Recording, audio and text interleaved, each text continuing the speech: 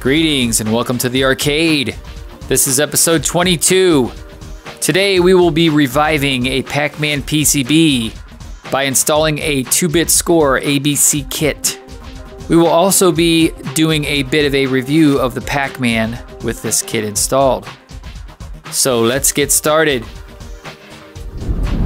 All right, everybody, we are going to see if we can get our Pac-Man up and running. And this is the Pac-Man logic board here, PCB. I want you to take a look at the look at this tag on the board. It says Pac-Man, spelled P-A-C-K, man, M-A-N. So this is very strange. Um, I know Pac-Man was actually Puck-Man in Japan, and when it came over here, it became Pac-Man. Um, what I'm going to do today with this board is I am actually going to install an ABC kit that will actually let me play Miss Pac-Man, Pac-Man, and a variety of other variations of Pac-Man on this board. And hopefully the ABC kit will replace or will repair this board. So let's have a look at the ABC kit. All right, everybody. Let's take a look at the ABC kit itself. You get this from 2bitscore.com. They have a lot of Pac-Man, Miss Pac-Man, and Galaga items there on the website. So basically you get a little um, EEPROM remover tool. And basically this is what the kit looks like. You have a couple of daughter boards that actually connect to the main PCB. We have installed the Super ABC kit on the Pac-Man PCB. We added a couple uh, data cards at specific locations that actually replace the character ROMs and some of the EEPROMs. So um, this is what it looks like. Now we are going to do a little test and see if this actually works. All right, everybody, I've got my assistant, Owen. Owen, let's go check out the Pac-Man. Let's see if it worked. So I've got my assistant, Owen. And we are going to go check out the Pac-Man and, and see if it worked. Let's check it out, Owen. Let's go around the corner. So basically, everybody, this is this is the ABC kit from 2-Bit Score. We have it installed. We have a successful Pac-Man now.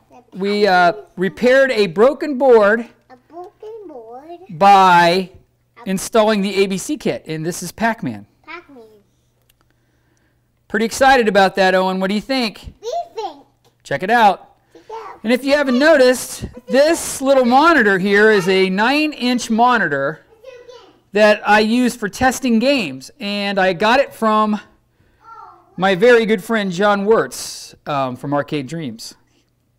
So we have a very nice Pac-Man, and we are going to piece this thing together and play the games. All right, everybody. This is my Pac-Man put back together. It's actually in really nice shape. I got a couple of things to tweak on it. I'm going to add new T-molding. I need to actually get the marquee light fixed. Um, I want to put on a new control panel overlay. This one's not bad, but the paint's worn, and I want to get some new buttons. All right, everybody, we've got the game put back together. We actually have a really nice Vision Pro monitor in the game. Um, I had it, I actually, it was in my Defender at one time, and my Defender is was damaged and we had to part the game out, but I had a really great monitor. So let's take a look at the ABC kit now that we've got it all fired up. As you can see, there's a lot of options here. We've got Pac-Man, slow and fast. We've got Miss Pac-Man, slow and fast. Pac Attack, slow, fast. Miss Pac Attack, slow and fast. Pac-Man Plus. Miss Pac-Man After Dark, Ultra Pac-Man and Piranha. The, the, for me, what I really wanted to achieve was to get the Pac-Man and the Miss Pac-Man on the game. So I've already got a credit in there, and I thought I'd show you Pac-Man at the fast pace. I like the I like the speed up chip. So as you can see, everything's the original, but right here, the difference with this and the some of the uh, multi boards is this game really doesn't give you the option for a button to speed up or slow down Pac-Man, but it's all right. I actually kind of like the um, the pace of this without having the button. This is a really great um, upgrade. Another benefit of the upgrade, it, it actually keeps the top, there's a high score save and a high score table. The only knock on the table itself is that the high score table is actually for the games across the board, and that's not for individual games. So, and the attract mode does all of the games that are on the ROMs, which is the games that I had mentioned it before. But let's go ahead and let's go ahead and coin up the game. Oops. That I just rebooted the game by hitting the test button. So my bad. Let's uh, let's go ahead and play Miss Pac-Man in the fast mode. Okay, I'm not too sure why it does this. Every now and then it'll there's a little goof on the color scheme on the very first coin up. But as you can see, once I get my clear the screen or get a person or one of the Miss Pac-Mans killed, it goes back to the regular color scheme. I'm not too sure why it does that. But here you go. We got a little Miss Pac-Man action.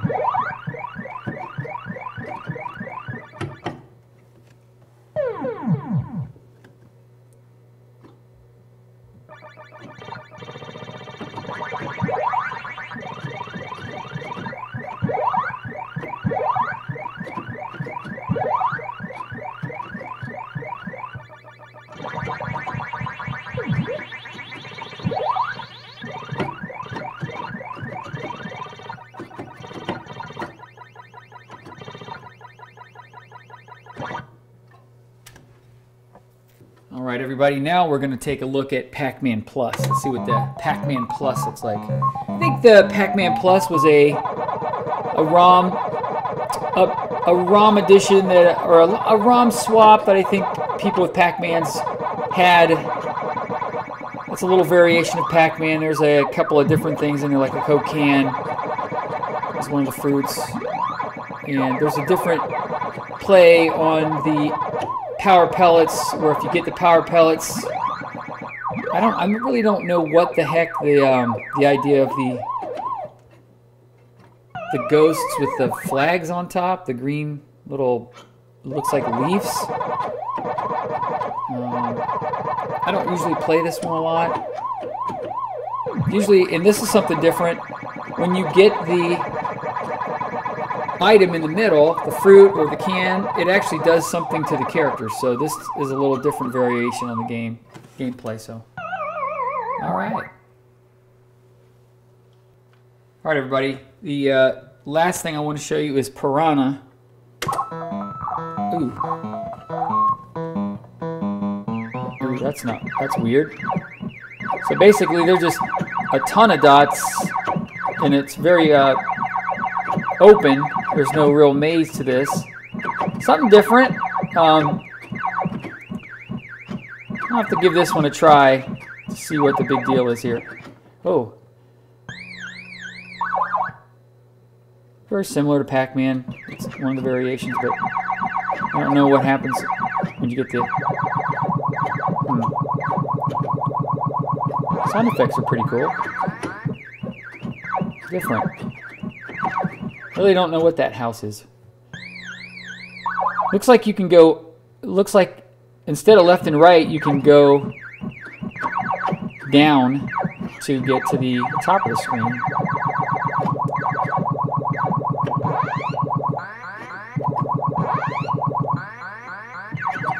I like the sound effects, I can tell you that. Pretty cool.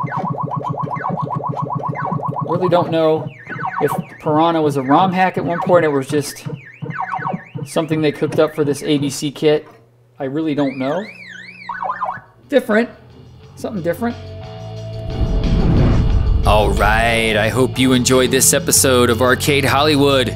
Special thanks goes out to my good friend Kyle for the ABC kit.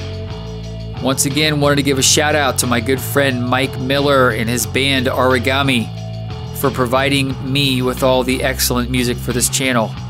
You can check out Origami at origami.tumblr.com. Coming soon to Arcade Hollywood, we will have the all access tour of the Place Retro Arcade with Carrie Cheney. We will also debut the movie trailer for the Kong Off 4. And we will begin the restoration process on Atari's Gravitar. We have a very big summer planned, so this is a wonderful time to subscribe to this channel. Don't forget, you can check me out on Twitter, Arcade Hollywood at Hollywood Arcade. We are also out there on Facebook and Google Plus. Email me with any comments or questions at discohollywood1 at gmail.com. All right, this does it for another episode of Arcade Hollywood. Until next time, rock on.